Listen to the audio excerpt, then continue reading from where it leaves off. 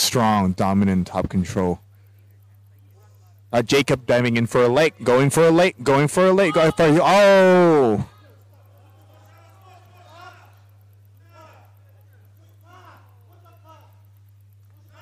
Ah, ah. A bit of a confrontation uh, going on over there. So apparently, uh, Jacob went for uh, for a heel hook and uh, released it because he thought uh, Shabutin tapped. Shabutin claimed that he did not tap, and upon frustration. Шара, я сегодня проснулся, и первая новость, э, которую заметил, была связана с тобой. А, давай восстановим хронологию той самой схватки по грэплингу. Просто со стороны выглядит так, так, будто ты виноват, а ты там ударил его, эмоции и все дела. Да, вообще соревнования это DCC для меня был большой опыт. А, на самом деле я кое-какую подготовку проходил своих борцовских навыков, и один из тренеров предложил мне выступить в Бангкоке на DCC турнире чемпионат Азии, открытый чемпионат со всего мира, как люди приедут, там интересно будет. А, можно для опыта побороться, проверить себя. И мне тоже было интересно посмотреть, кто-нибудь сможет меня перевести на пол или нет. А, ну, мы готовились. У меня Маурат, тренер по вольной борьбе, Курбан Гаджиев, чемпион России, черный пояс. Они здесь и помогали мне в подготовке. И Гая, здесь тренер, есть тоже черный пояс, они помогали. И я решил выступить и записался на начинающий уровень. Это первые мои соревнования были по грэпплингу.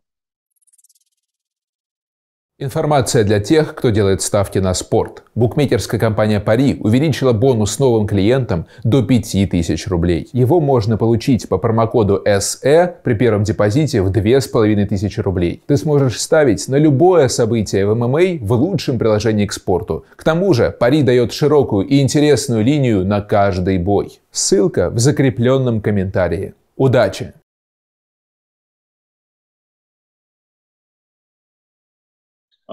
Потом я приехал на турнир, и мне сказали, ты как боец-профессионал, тебя могут э, на синие пояса закинуть. Я теперь пошел на синий, тоже взнос отдал, записался.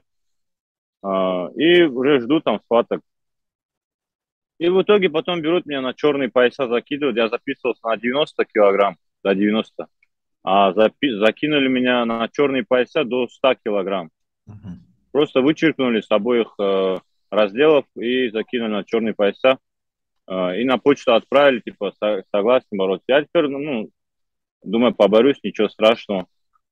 И, ну, я же не знал там, и правила не знал толком, да, просто хотел себя проверить.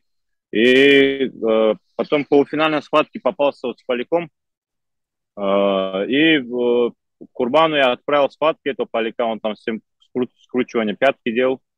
А, Курбан говорит, не, не борись, говорит, э, это говорит, риск большой, пятка говорит, долго залечивается, полгода, год ты можешь выбыть с турниров, а, не рискуй лучше. Я тоже подумал, если на самом деле так есть, я сейчас боялся фанатов своих подвести, потому что столько людей ждут моего боя, э, и EDCC турнир, ну, не так важен, вообще он не нужен мне, по сути, просто побороться, выйти, кавер почувствовать.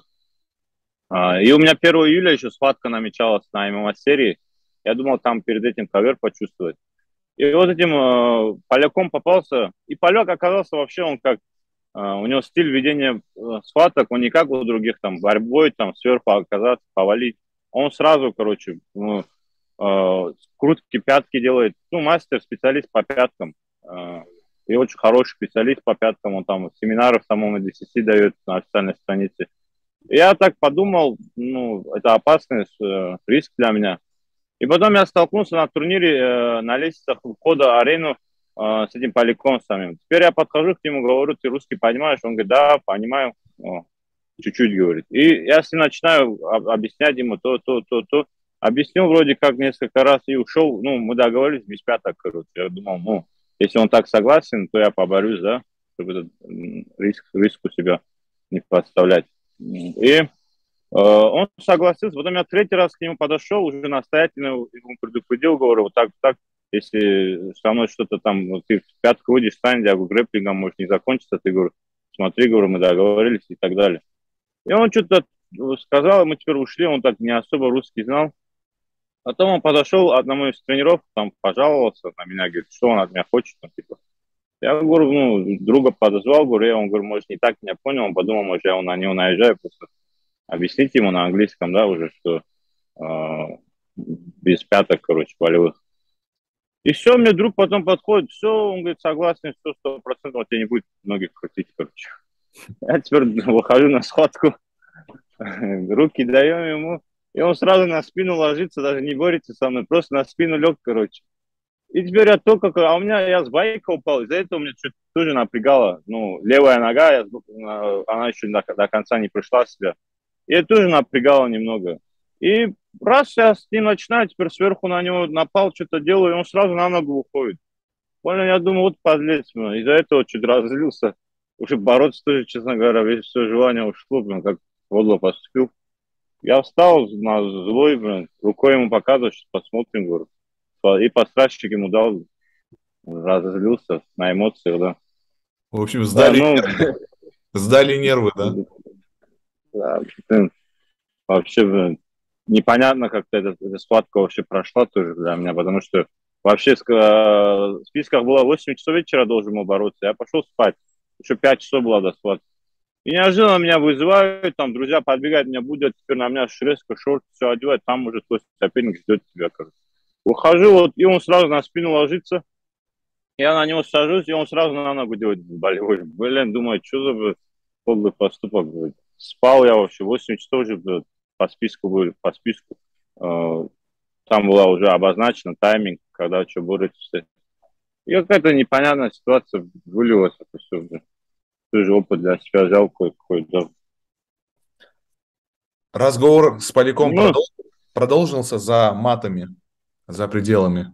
Не, он, он хитрец, он, видимо, думал, что делать, короче, если... А он взял, какой хитрый способ, он взял мне, сделал эту вещь, и что я даже не сдался, я просто от злости его по ноге ударил, встал, и уже мне смотрю, я ударил, и судья раздел. Я вижу, что схватка уже, походу, закончилась. Я злой на него думаю, блин, Бангкок летел, побороться нормально, хотел с кем-нибудь жить, а он даже не поборолся, на спину лег сразу. И сразу на эту пятку болевой сделал. Я даже не знал, там не было никакого скручивания, там боли даже не было, ничего не было там, по сути. Просто я не стал э, как бы судьбу испытывать. Там один щелчок, да, и на полгода, год ты можешь Согласен. Э, улететь с боев. И... А он потом взял, э, где судейский корпус, там судьи взял, сел, где судьи сидят, их не этот, и сидит он там, часа три еще сидел он там, а не уходил оттуда, короче. Я думаю, вот он на натуре опасный персонаж. Потом мне этот президент EDC подходит, там, он, видимо, ему жаловался, жаловался, он прям перед ним сидел рядом. И он ему, видимо, ныл, ныл там, не уходил оттуда, его, походу, уже хотели выпроводить, а он сидит там, не уходит. И потом этот EDC президент подходит, там, оставит, а то, то. Я тоже думаю, сейчас, блин, возьму его, выведу, ударю, потом видимо, на мне хайп хочет поймать или что. Сейчас обратно это все плохо может закончиться. Потом кому объяснить, что вот так, что изначально как было договаривали. И его оставил, улетел, короче. Сейчас прилетел, это видео вышло. Угу. Не пробовал связаться с ним в интернете? Да нет, уже схватка когда закончилась, да, уже что ему сейчас писать, там его искать, там находить. Если увижу, да, я ему там, может, что-то скажу, может, посмотрим. А так за ними гнаться, мне времени нет этим заниматься. Это не, вообще не мой вид спорта, я вообще, у меня там прям принципиально не было задачи выиграть там этот турнир, мне нужно было опыт какой-то оттуда забрать. Но я там, получается, среди черных поясов третьим стал. Я на пьедестал не пошел даже медаль забрать, улетел я. Угу.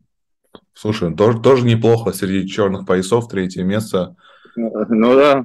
Учитывая, он что абсолют... первый опыт. Он, да, он в абсолютке тоже всем пятки эти. Он хорошим борцам, на самом деле, пятки крутил. И многие из них тоже вот так судьбу не испытывали, сразу сдавались. Видимо, у них опыт, ну, знаете, как там, и я как понял, сейчас у меня опыт какой появился.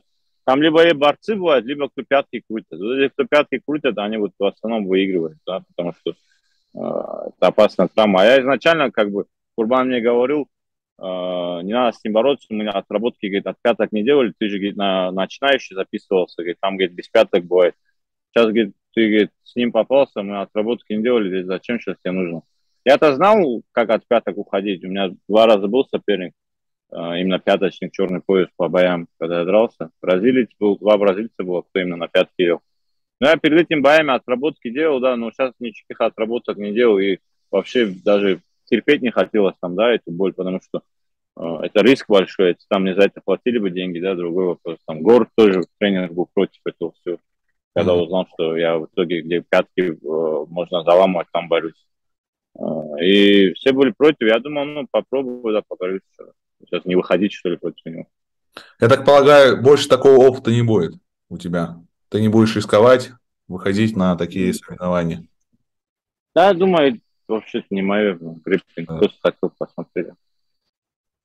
Угу. Ну и а, на ММА серии ты тоже не выступишь? Пограть. Не, я скорее всего там на, по ММА серии выступлю. А, ты выступишь? сейчас. Ага. Да, если соперник будет там а, какой-нибудь именитый, ну, наверное, тоже договориться заранее без пяток, потому что... Это опасно, да. Да, да, да. Такие вещи, которые не оплачивать, мало оплачивать, и там такие риск большой травмы, которые долго лечатся, она от того не стоит. И э, тренера мне это говорили, просто видите, угу. хочу отказываться, не выходить на склад. Понял. Шара, тогда завершая тему с тем поляком, вот что ты хотел с ним сделать, а, подойдя к нему, если бы подошел бы к нему? Хотел бы что-то объяснить на словах или там, не знаю, проучить его или, или что ты хотел с ним сделать? Да, Ничего, честно говоря, такому человеку что объяснять? Я ему три раза настоятельно попросил э, без, без этого. Он кивнул головой, хорошо сказал. Потом еще друг подошел, мне гарантию дал, что я к нему подошел, объяснил, он понял, что ну давай будем, короче. И вот такой, когда человек делает, что ему объяснять, да, его сейчас бить тоже, да, мне сейчас ему лишний хайп давать, его сейчас бить там, э, что это даст, да, в итоге он что он боль почувствует и образумится, или что он таким и останется на всю жизнь, кем был, да. Понял. А 1 июля а где пройдет ММА сервис? Москве турнира. То, то есть, получается, ты прилетишь а, в случае чего? Да, да, я в Москве, может, 1 июля прилечу, посмотрим, там есть разные имена. Угу. Если они согласятся, то вперед. Я, я тебя услышал. Просто мне надо как-то ну, время как-то коротать, потому что до UFC боя не так мало, много времени, ну, не так мало времени, и чем-то надо заниматься, какую-то как-то развиваться именно в борцовской науке. Из-за этого тоже вот так мы решили с Гором борцовской схватки себя попробовать. А это вот просто, видишь, эксперимент я решил сделать, ковер почувствовать, поворот. Mm-hmm.